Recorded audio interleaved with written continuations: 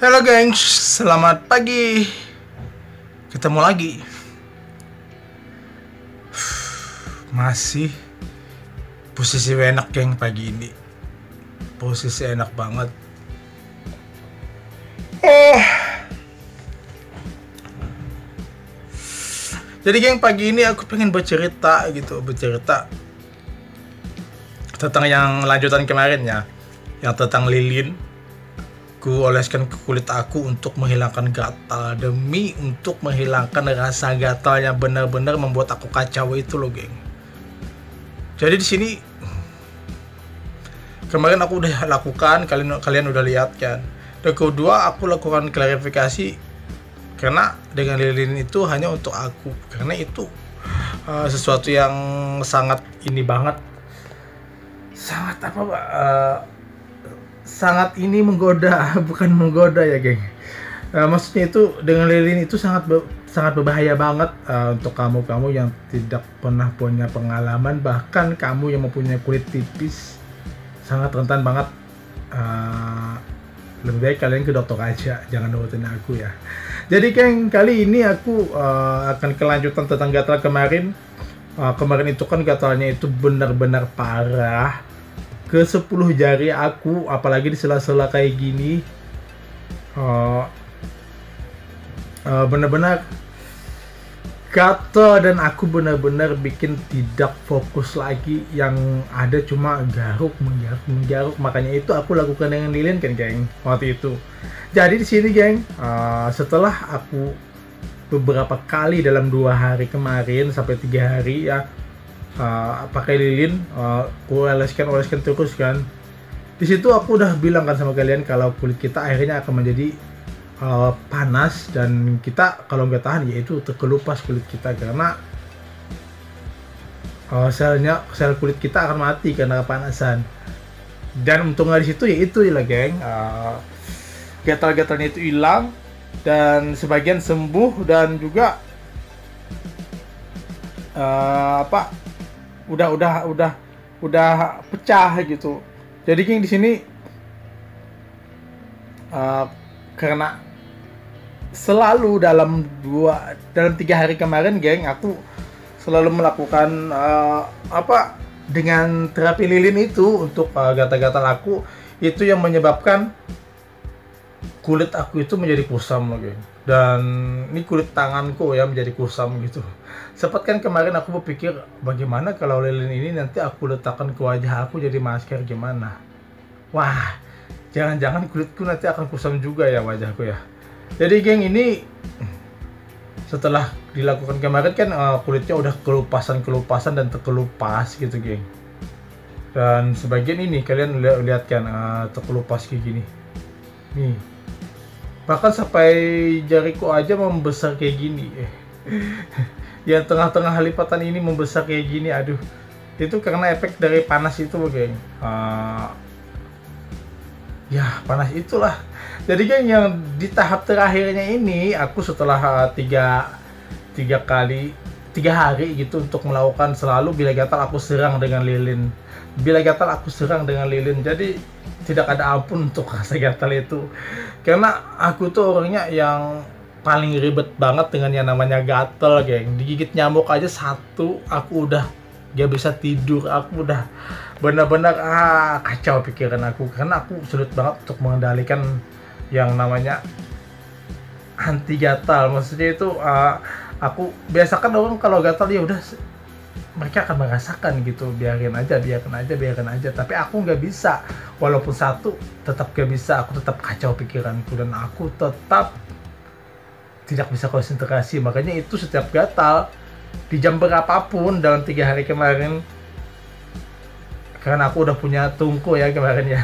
Jadi uh, dalam detik waktu gitu. Uh, dalam 12 jam itu uh, gatalnya di sini. Nanti kemudian ada yang di sini lagi katanya kan gatalnya itu pindah-pindah karena semuanya semuanya benar-benar uh, gatal gitu ke selu, ke 10 jari aku. Jadi kan ini udah mulai terkelupas. Ini ini berarti ini ini ini udah udah udah udah pada sembuh ya. Ini sudah pada pada sembuh dan udah tidak terlalu luka lagi maksudnya tidak terlalu gatal lagi dan bahkan tidak gatal lagi makanya ini udah terkelupasan kulitku geng. Ini tadi uh, tadi malam itu kusamnya itu luar biasa banget geng. Luar biasa kusamnya. Dan dan lalu tadi malam itu aku langsung ngambil tahap uh, pemulihan yang ketiga geng. Uh, dari dari apa dari dari aku lilin kuserang ke jari-jari aku. Lalu kemudian di tahap penyembuhan yang setelah uh, gatalnya itu berkurang kemudian gatal berkurang itu menyisakan kulitku kusam dan uh, banyak yang mati kan. Uh, otomatis ganti sel ya sel kulit gitu. Jadi untuk mempercepat uh, membuat kulitku menjadi uh, tidak kusam lagi dan tidak amburadul lagi makanya uh, di fase selanjutnya itu geng tadi malam itu jam 12 malam aku langsung luluran loh. Luluran itu gak apa sih uh, wajar aja ya kalau laki-laki itu luluran juga karena kita luluran itu untuk membersihkan kulit kita dari yang namanya kotor dan, dan alergi juga kan. Tapi aku yang luluran itu tidak yang untuk ke spa atau beli ini beli itu enggak. Aku cuma cukup dengan bubuk kopi aja geng. Kopi hitam. Jadi kopi hitam itu tadi malam itu aku letakkan ke aku apa aku letakkan iya aku oleskan ke jari-jari aku dan aku gosok terus gosok gosok gosok dan gosok terus.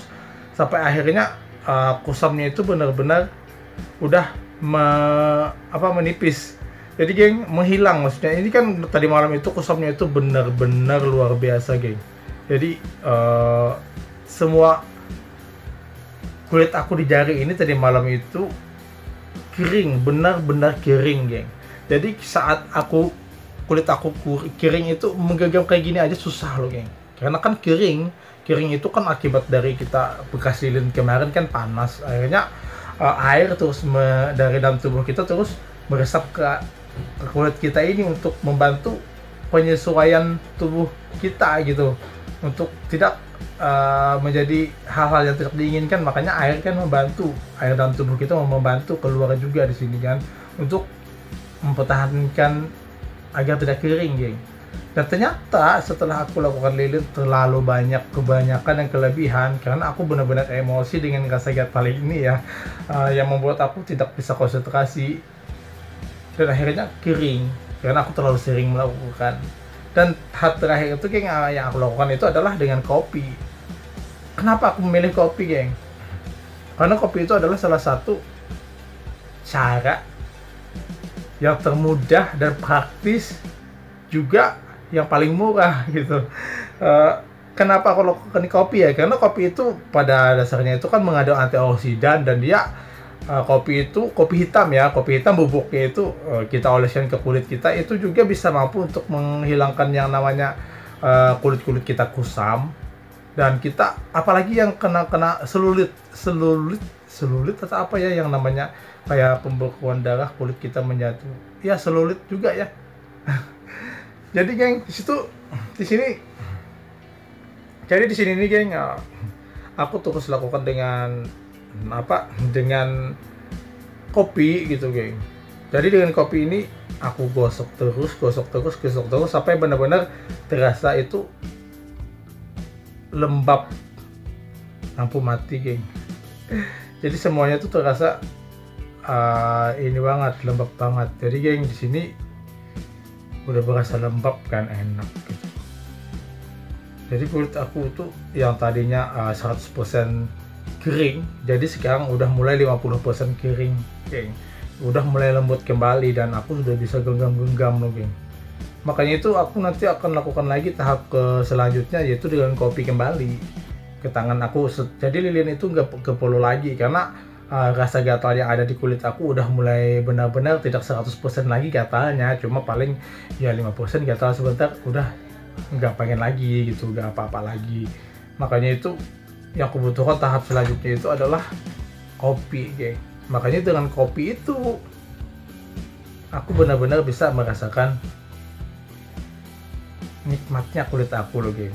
Kulit aku itu bisa berasa banget enak dan kulit aku berasa pokoknya enak banget lah gitu. Enak banget gitu kulit aku ya. Ya jadi manfaat kopi itu kalian harus tahu ya nah, kenapa aku harus ngambil yang namanya kopi untuk kujadikan sebagai luluran kulit aku? Jujur ya aku uh, sering banget luluran kopi oke okay? luluran kopi itu aku lakukan itu seminggu sampai dua kali. Atau kalau tergantung rajin apa enggaknya juga ya. Kalau tidak seminggu dua kali kadang-kadang dua minggu sekali. Itu juga tergantung dari mood aku juga aku pengen apa enggak gitu. Jadi yang di sini di sini nih uh, aku milih kopi karena kopi itu mengandung benar-benar oksidannya itu bagus banget untuk kulit selulit juga.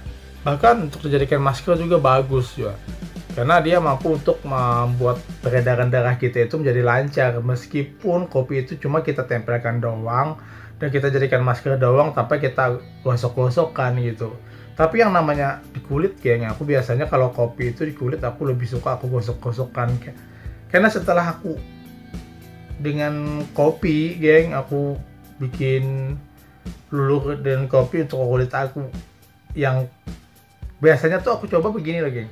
Sebelum aku uh, lulur dengan kopi hitam gitu dengan kopi bubuk kopi itu biasanya aku uh, aku gosok dulu kan kulit aku banyak benar dekil banget dengan dengan daki gitu. Jadi kemudian setelah setelah itu aku langsung luluran setelah mandi aku gosok lagi kulit aku. Benar-benar keset dan tidak ada lagi uh, daki. Enak tuh geng dan kulit aku tuh pun menjadi lembut. Makanya itu di saat kalian-kalian yang ah, bukan kalian ya. Cuma ini aku bilang aku bilang ini sarannya kayak coba untuk aku bukan untuk kalian ya. Aku tidak menyarankan yang lilin kemarin. Jadi lilin itu geng yang kemarin yang membuat kulit aku itu benar-benar panas seolah-olah aku kena air panas gitu. Dan kulit itu melebam.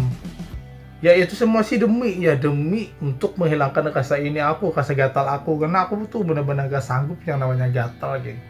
Gatal luar biasa itu. Aku gak benar benar-benar gak sanggup merasakan aku tidak konsen dan uh, suasana hatiku itu benar-benar pecah. Makanya itu akhirnya geng aku untuk penyembuhan gatal aku selanjutnya itu yaitu dengan kopi. Karena aku sering juga sih dulu-dulu ya sebelum aku uh, mendapatkan yang gatal ya ke, ke 10 jari aku ini dulu-dulu ya sering aku dulu aku pernah juga kena campah ya yang berbecak-becak itu gatal banget kan itu solusinya cuma cuma dengan kopi juga geng. Jadi bila aku dapat itu menemukan campah di kulit aku ya udah aku langsung pakai kopi gosok gosok gosok gosok.